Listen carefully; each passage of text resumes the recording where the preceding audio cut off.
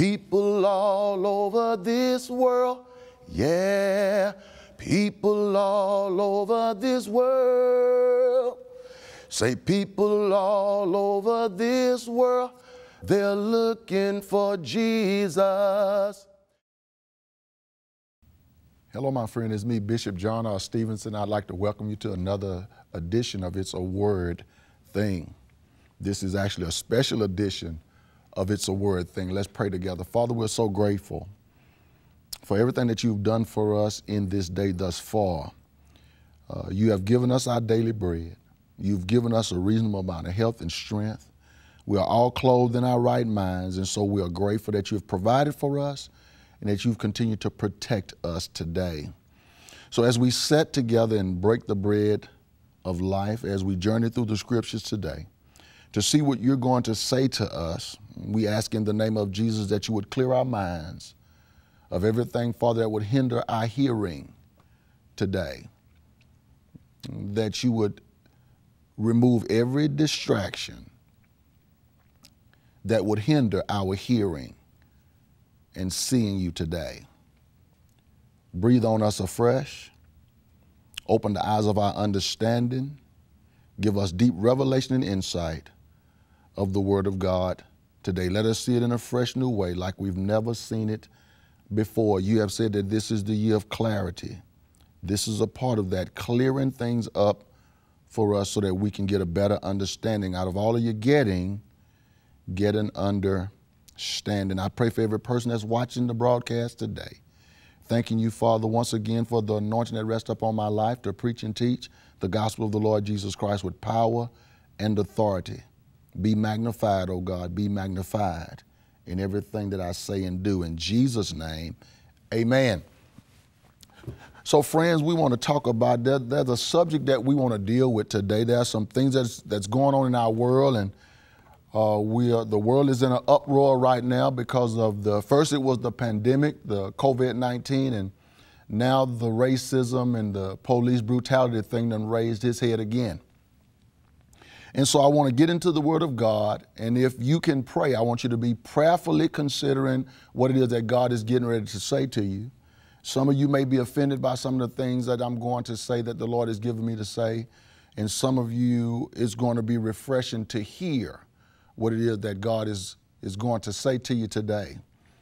Um, so let's deal with, uh, I guess the subject would be why uh, our world is in the condition it is in today. Why our world is in the condition it is today. Why are we going through what we're going through? Why are these things happening in the world today? I'm not going to put a, a color on it.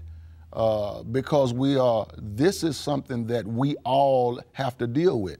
God told me to say, tell America to wake up. Remember, uh, we've been hearing that we're in it together. Well, here's a sign that we're not in it together.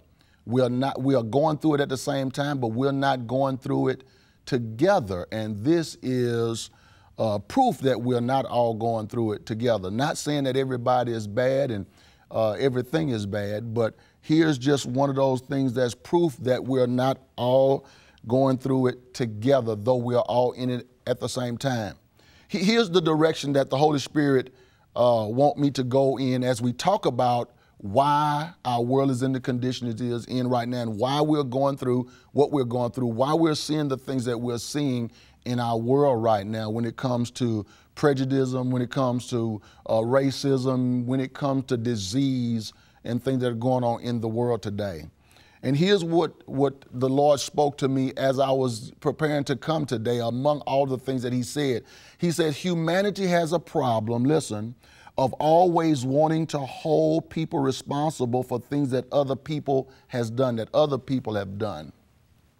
And I want to read a verse, I want to read these first couple of verses of scripture to set the stage for what it is that we're about to embark upon as we talk about what we're talking about, why our world is where it is right now. He said, Humanity has a problem of always wanting to hold other people responsible for what other people have done. He said, But when God went into the garden, we go on to Genesis chapter 3, if you don't mind. Genesis chapter 3, we're going to start at verse number 9 through verse 13. He said, when God came into the garden, he asked Adam where he was. And I need you to be prayerfully listening to what I'm saying to you today because God want to know what position have you taken in the midst of everything that's going on? What stance have you taken in the midst of everything have, that's going on? Have you become a part of the solution or are you adding fuel to the problem? What position have you taken? Because right now, God want to know where are you right now. And here's here we are in, in Genesis chapter 3, starting at verse 9. And the Lord God called unto Adam and said unto him, Where art thou? And he said, I heard thy voice in the garden, and I was afraid because I was naked, and I hid myself. Listen, and I hid myself. Verse 11, and he said, Who told thee that thou was naked? Have thou eaten of the tree where I commanded thee thou shouldest not eat? Watch, friends. Verse 12. And the man said, The woman whom thou gave to be with me, she gave of the tree. Watch this, and I did eat. Verse 13. And the Lord said unto the woman, Watch now, and the Lord said unto the woman, What is this that thou have done? And the woman said, The serpent beguiled me, and I did eat. L- listen to what God is saying right now. He said, Okay, what position have you taken in the matter?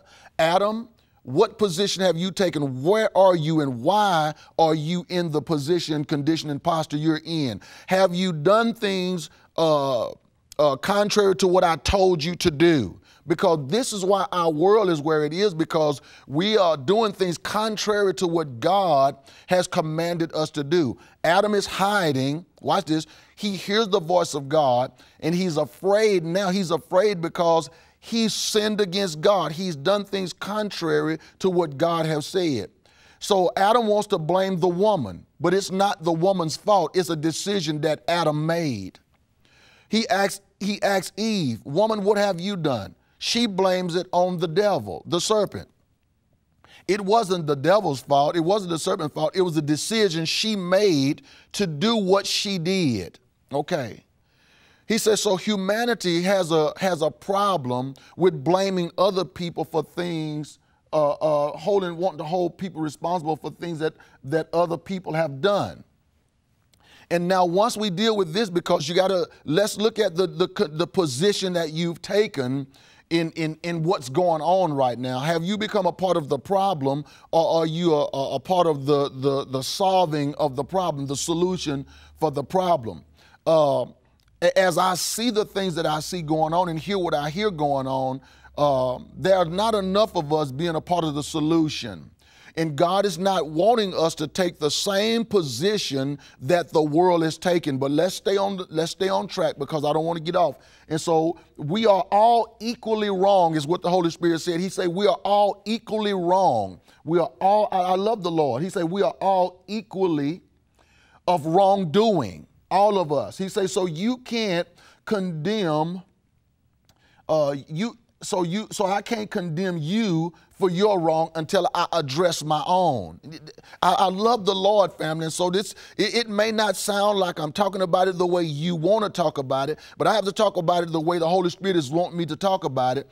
And since all of us are equally we are equally wrongdoing, have we are we are equally in the wrong and doing wrong. And so God said, before I can talk about the wrong in another person, I need to, I have to first address my own wrong. Come on, friends.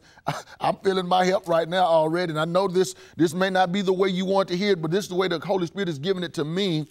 And I've sat and I've talked with the Holy Spirit. I've really sat and talked with him. And here's the direction he wants me to, to give us. And so we're going to get to where we need to be. Matthew chapter 7, verse 3. Matthew chapter 7, verse 3. Well, I'll start at verse number one. Matthew chapter 7, I'm going to start at verse number one. Judge not that ye be not judged. For with, with what judgment you judge, you shall be judged, and with what measure you meet, ye shall be measured to you again. Watch this, verse 3. And why, why beholdest thou the mote that is in thy brother's eye, but consider it not the beam that is in thine own eye. Watch this. Or how how wilt thou say to thy brother, Let me pull out the mote? Watch this. Let me pull out the mote out of thine eye, and behold, a beam is in my own eye. Watch this, verse 5. Thou hypocrite, first cast out the beam out of thine own eye, and then shalt thou see clearly. Look, come on, friend. Then shalt thou see clearly to cast out the mote out of thy brother's eye. Verse number six. Give not that which is unholy to the dogs, neither cast your pearl before swine, lest thou uh, uh, trample them under thy foot and turn again and rend you and rend you. Watch this. Hallelujah. Now, now, now I want to go back to a verse. I, I want to go back to a verse because I, I want to go back to verse number five. And Bishop is not uh, degrading anybody. Uh, um, talking about anybody. I'm using scripture, I'm using scripture to bring us to a clearer view and perspective of what's going on. He said, Thou hypocrite, first cast out the beam out of thy own eye, and then shall thou see clearly to cast out the mote out of thy brother's eye. Okay, God said humanity has a has a problem always wanting to hold people responsible for, for things that other people have done. He said, but but when God came looking, seeing when God come looking right now, and God's question to us is, what position, condition, and posture have you taken in the midst of everything that's going on? What stance have you taken? Well, we can see, we can see when it came to the to the COVID-19, we failed that test as the body of Christ. But we've also failed the test as the body of Christ dealing with the, the racism and the prejudice as well. We failed that test too because the church is, is still responding uh, as the world. The church at large is still not responding the way that God wants us to respond. We're still not being the, the salt and the light that we're supposed to be. We're not supposed to join the world in what they are doing. We're supposed to be separate from the world and be salt and light in the world to show the world that there's a more excellent way. If the body of Christ, if the body of Christ, those of us who are part of the body of Christ, if we're going to walk alongside the world and do things the way the world do, then they're not going to learn. They're not going to see the more excellent way. We're supposed to be given directions and guidance to what's going on in the world the Bible says, watch this, if somebody hits you, turn the other cheek. I know we don't want to deal with this. We don't let's not be so quick to fight against one another. Because Jesus said, here, here's what the Bible says. God said, Vengeance is mine, said the Lord. Vengeance is mine, said the Lord. And so we can't we can't be judge and jury. We can't take matters in our own hands because we're only adding fuel to the fire. And so I need for you to really be paying attention to what God is saying, friend. Really be paying attention. He said, We are all equally, we are all equally of wrongdoing. And so I can't talk about what somebody else is doing, friend, if I'm not doing what I'm supposed to be doing. If there's if I'm if I'm contrary to the word of God, if I'm doing things that's contrary to the will and the word of God, then I'm equally wrong. I can't talk to you about the wrong you're doing if I'm not doing the right thing that I'm supposed to be doing as well. Hallelujah. Hallelujah. So so here's the reason. He said our world is in the in the state that it's in because of sin. Watch this, friend. We're in the condition that we're in in our world because of sin.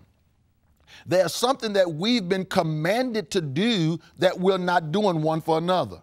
There's something that God has commanded us to do that we're not doing one for another.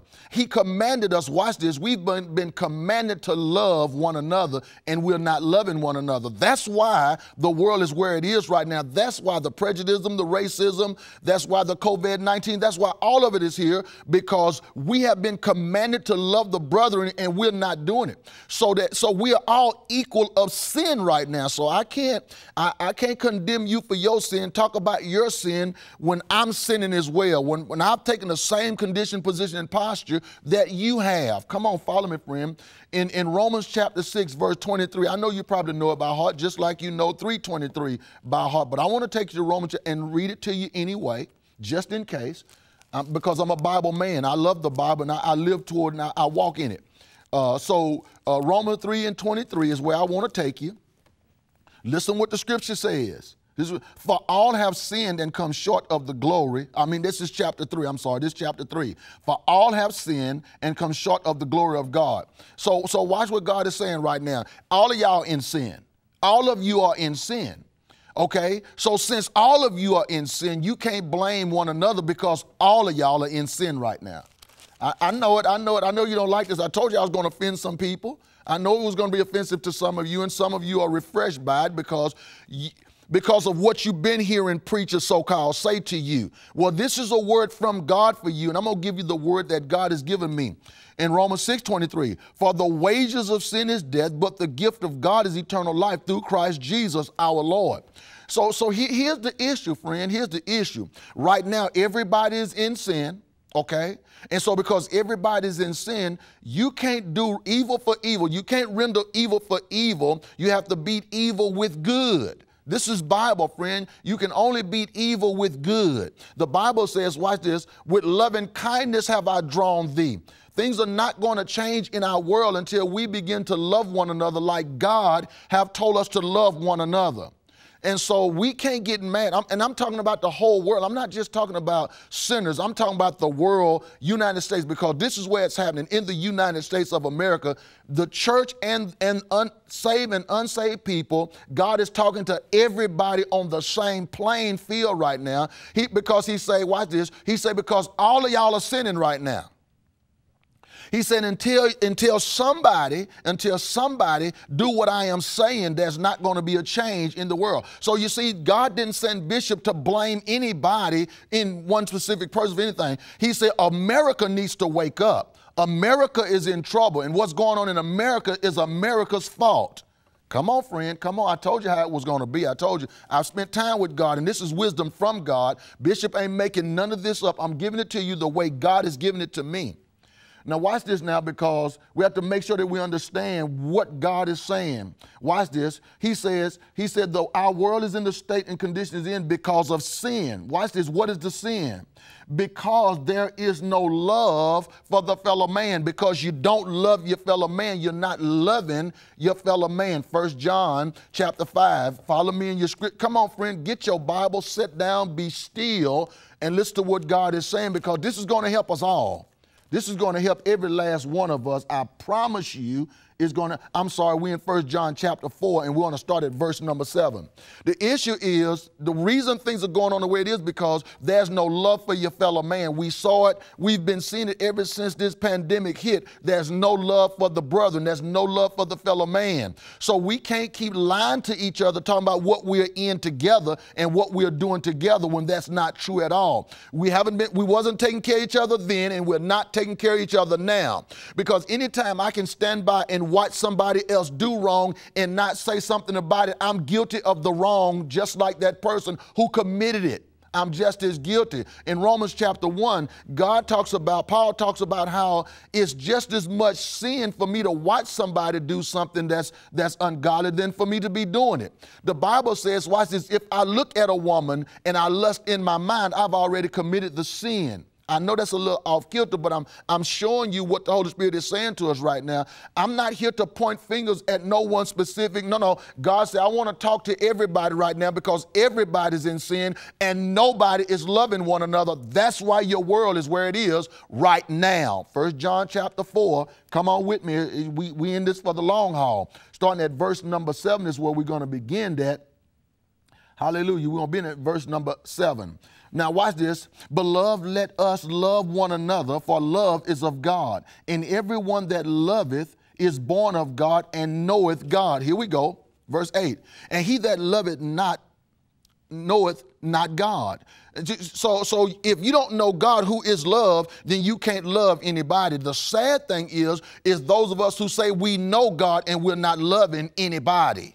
Come on, don't be mad. Don't be mad. Verse 9 In this was manifested the love of God toward us. God pointed his love in our direction while we was all yet sinners. God, watch this, in this was manifested the love of God toward us because that God sent his only begotten Son into the world that we might live through him. Herein is love, not that we love God, but that he loved us and sent his Son to be the propitiation for our sins. Uh huh. Come on, beloved, if God so loved us, we ought to also love one another. If God so loved us, we ought to also love one another. This is why the world is where it is because there's no love in our heart for the brethren. There's no love for the other person. I'm only concerned about me and what happens to me and goes on with me. And if I can, to hell with the rest of the world and with everybody else. But since God, if God, for God so loved the world that he gave his only begotten Son, that whosoever believes believeth on him shall not perish, but have everlasting life. God loved us, and because God loved us and did everything he did for us, we ought to love each other. That's the example that's been set by God for us. Verse number 11, come on. Uh, verse number 11, uh, yeah. Uh, beloved, if God so loved us, we ought to also to love one another. Verse, no man have seen God at any time. But listen, friend, man can see God if the body of Christ do like the body of Christ is supposed to do, then people will see God in this earth. No man have seen God at any time. If we love one another, watch this, God dwelleth in us, watch this, and his love is perfect in us. Verse 13, hereby know we that we dwelleth in him and he in us because he have given us his spirit. That's the do right kind of spirit that that, that Ezekiel talks about when God give us a new heart, he give us a spirit that causes us to do right. Verse number 14, and we have seen and do testify that the Father sent his Son to be the Savior of the whole world, not just white or black, the whole world. Verse 15, whosoever shall confess that Jesus is the Son of God dwelleth in him, and he in God. And we have, watch this, and we have known and believed the love that God has toward us. God is love, and he that dwelleth in love dwelleth in God, and God in him. Here's the position that you're supposed to take. And the reason we're in the, the situation in our world is because there's no love for the brethren. Verse 17 Herein is our love made perfect that we may. Uh, have, have boldness in the day of judgment because as he is so are we in this world. There is no fear in love, but perfect love cast out fear because fear hath torment. He that feareth is not made perfect in love. We love him. Watch this. We love him because he first loved us. If if a man say, I love God and hate his brethren, he is a liar. For he that loveth not his brother whom he have who have seen, how can he love God whom he have not seen? And this commandment have we from him, that he who loved God love his brother also. Here's the, here's the issue, friend. Here's why we are where we are. This is why the pandemic is here. This is why the prejudice, the racism, the brutal, this is why all of this is here, friend, is because there's no love for the brethren. That because we don't we don't love each other like we proclaim we do, like we say we do, friend. We're not we're not loving each other. And God say, I want to know what, listen, you got to uh, examine yourself and figure out what position have you taken? What are you doing? Are you name calling? I hear you, Holy Ghost. I hear you, Holy Ghost. What are you doing? Are you name calling? You want to call people names. You upset. You upset. So you want to call people names and you want to blame folk. God said, I want to know, have you become a part of the solution or are you a part of the problem? And I'm going to say this to you, and we're going to get to it somewhat down here in the teaching. God did not call us to protest. He called us to prayer. I say he have not called us to protest. He's called us to prayer. If my people who are called by my name would pray. Nowhere in the Bible do you see anybody, none of God's people but you see us praying. That's what God then called us to do. So, so here it is. So we're in this position, we're in this condition, and we're in this posture, and we're trying to figure out where it came from. Friend, I just told you where it came from. It's here because there's no love for the brethren. We all blaming each other. We all calling each other names. We all sticks and stones. Don't yeah, yeah, we all throwing stones and sticks at each other. But watch this now. God said y'all are all equally wrong because all of y'all are sinning. All of y'all, is, everybody is taking up the same posture. No, no. God said, You're supposed to follow me. Child of God, you're supposed to follow me and do like I tell you because the steps of a righteous man is ordered by the Lord. I'm supposed to acknowledge God in all my ways, trust the Lord, uh huh, and acknowledge Him in all my ways, lean not to my own understanding, and God is supposed to be directing my steps. That's what's supposed to be happening with the believer. We're not supposed to join in with the world and do things like the world do it. The world protests protest because the world can't pray. That's I'm, the world protests because the world can't pray. It's a P, but it ain't the right one. They protest because they can't pray.